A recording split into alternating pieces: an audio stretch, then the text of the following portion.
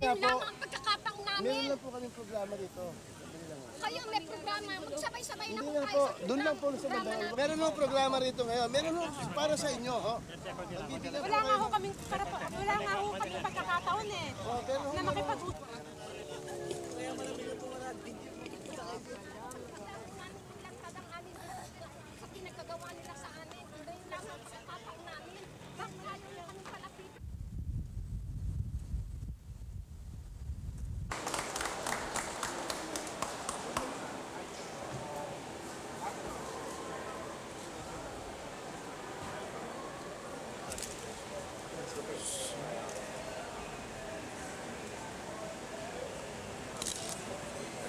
What's that?